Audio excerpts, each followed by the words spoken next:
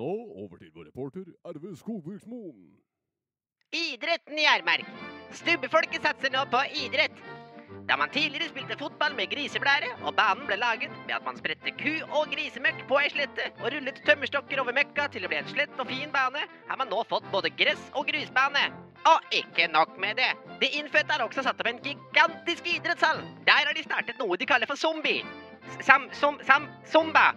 En latinamerikansk hoftebevegelsedans som skal øke sexlysten hos middelaldrende kvinner. Dette har fått opptil 90 bondekjerringer til å bytte ut skaut og fjøsklær med tettsittende zombiedrakter. Årsak zombadrakter. Det er litt av et syn når 90 budeier i ekstase kommer springende ut av de dype skoger for å nå dansetimen. En bonde som var vitne til dette, mente det var pinlig, og han ville helst ikke vedkjenne seg sin kone. Men så lenge det øker sexlysten, får det gå, sa bonden. Til slutt en gladsak. Ulvemerkingen som pågikk forrige uke, kunne gått riktig så galt.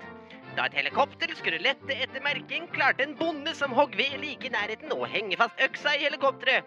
Bonden fulgte med fem meter opp før øksa løsnet. Bonden landet heldigvis mykt på den bedøvde ulven og overlevde. Snakk om flaks i uflaks.